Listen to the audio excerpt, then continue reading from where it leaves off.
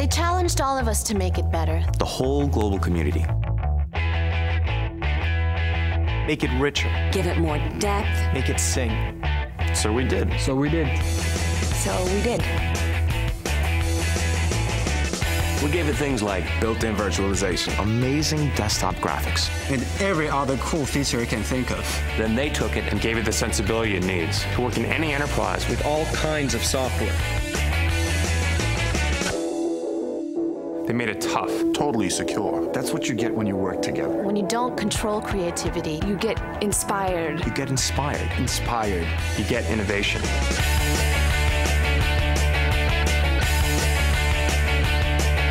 We made it cool. They made it ready.